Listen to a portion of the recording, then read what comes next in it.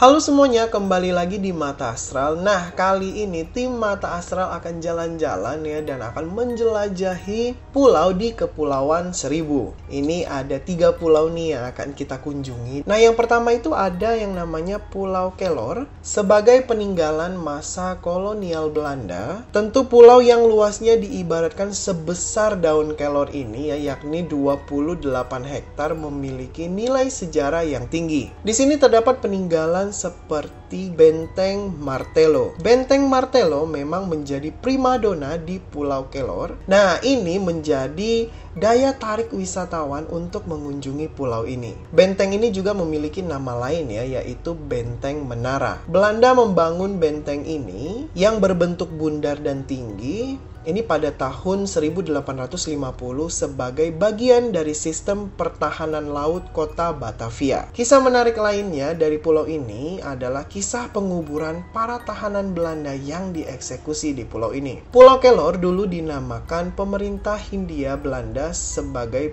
Pulau Kerkhoff yang artinya pulau kuburan. Nah, di sini Aku dan tim Matarsa berjalan-jalan dan kita pengen melihat kembali nih ya ke masa lalu melalui retrokognisi kebetulan nih bentengnya masih ada juga di sini kan ya. Jadi bisa meminjam energi ya residual energi dari uh, benteng tersebut. Tapi sebenarnya kalau misalnya dibilang oh ini pulau kuburan bukan ya gitu, saya sih nggak merasakan apa-apa ya. Maksudnya mungkin karena masih siang juga gitu, jadi energi tidak terlalu besar gitu. Jadi saya sih nggak melihat adanya eh, sosok-sosok aneh yang ada di pulau tersebut gitu ya. Nah pada saat aku coba merasakan energi ya di sekitar benteng, memang benteng ini ada yang namanya tadi ada meriam besar dan lain-lain. Memang aku mencium bau mesiu di sini pada saat aku melakukan retrokognisi ya. Di sini juga ya benteng ini dibangun dibangun sama orang pribumi. Lebih tepatnya banyak banget orang pribumi yang membangun benteng ini. Jadi bukan uh, orang Belanda yang bangun benteng ini melainkan si orang pribumi ini. Dan sebenarnya bagian benteng ini adalah bagian tengah, bagian paling dalam ya yang aku lihat dari retrokognisi itu. Sebenarnya masih ada bagian-bagian luar dari benteng tersebut yang mungkin hancur ya, yang mungkin hancur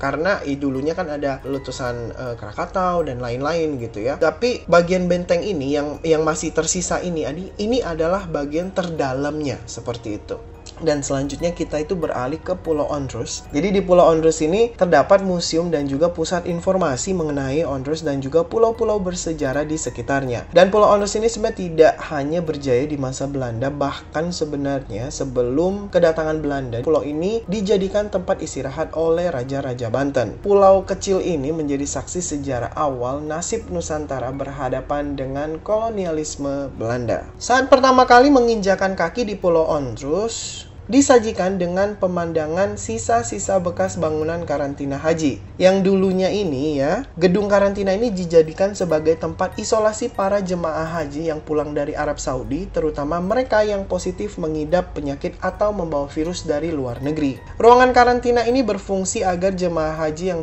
terjangkit tidak menularkan ke orang lain saat pulang ke Batavia atau yang sekarang kita sebut sebagai Jakarta. Dan pada saat kita jalan ke belakang ya, pada saat kita jalan ke belakang juga, nah di situ di sebelah kanan sebenarnya ada penjara tuh. Nah itu ada penjara, cuman penjara kan ketutup ya, jadi nggak bisa masuk ke dalam.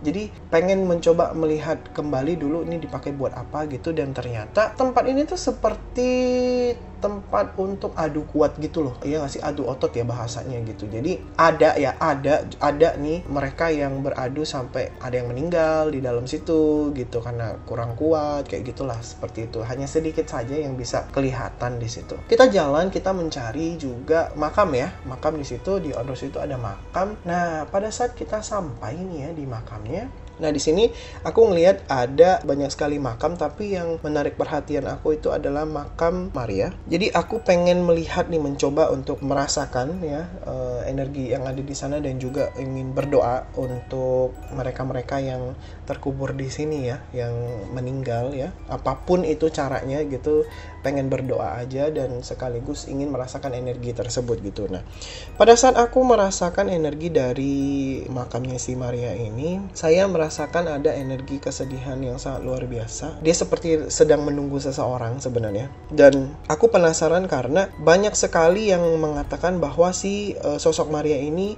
meninggalnya karena dia bunuh diri gitu. Dan setelah saya mencoba untuk melakukan retro kognisi untuk melihat kembali ke masa lalu seperti itu, yang aku lihat sebenarnya Maria itu bukan bunuh diri, namun dia itu sebenarnya meninggal karena sakit dengan usia yang masih muda ya, sekitar 8, 28 tahun di situ. Sosok Maria ini cantik, orangnya tinggi sekali lebih tinggi dari aku mungkin sekitar 185 sampai 190 cm. Dia suka menggunakan busana-busana terang ya warna merah, warna kuning gitu Cuman dia lebih suka menggunakan baju yang terusan seperti itu. Rambutnya agak sedikit ikal ya, agak sedikit ikal dan dia suka cepolin rambutnya ke atas gitu. Kemudian dia membiarkan beberapa helai poninya itu turun seperti itu. Banyak pelajaran-pelajaran baru yang kita terima dalam perjalanan ke dua pulau ini ya. Nah, selanjutnya kita akan pergi ke pulau ketiga ya atau pulau terakhir yaitu di Pulau Cipir. Dan kita udah sampai di pulau ketiga yaitu Pulau Cipir.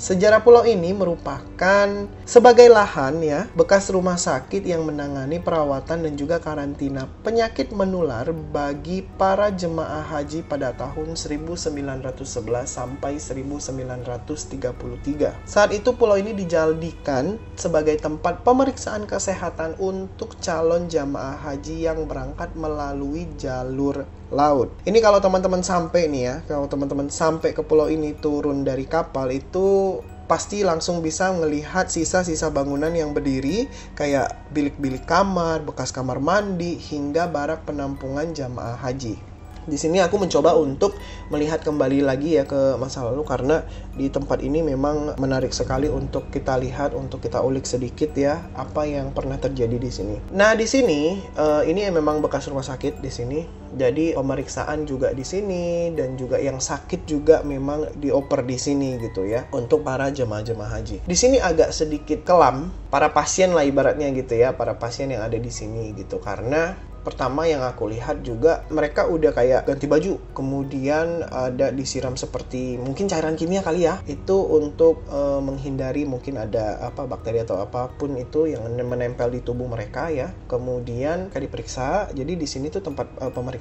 pada saat mereka tidak bisa membayar ini mereka harus bayar nih pada saat diperiksa nih kalau mereka nggak punya uang ini mereka dijadikan sebagai ibaratnya budak gitu ya oleh uh, orang-orang Belanda di sini gitu.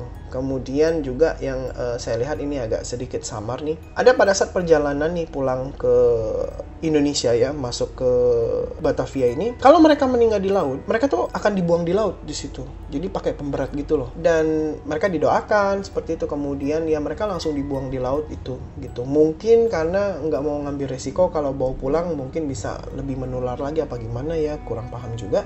Dan memang jujur sih aku suka banget datang ke tempat seperti ini ya karena kita bisa belajar yang namanya sejarah gitu. Jadi untuk teman-teman nih kalau misalnya mau jalan-jalan kayak gitu, tidak ada salahnya kalian mencoba untuk datang ke tiga pulau ini. Jadi sekian dulu ya untuk jalan-jalan kali ini teman-teman. Semoga kita ketemu lagi di jelajah berikutnya. Jangan lupa untuk support terus ya tim Mata Astral di sini dengan cara subscribe, like dan share YouTube kita. Dan jangan lupa nih untuk follow Instagram dan juga TikTok kita di Mata Astral. Terima kasih dan sampai jumpa ya.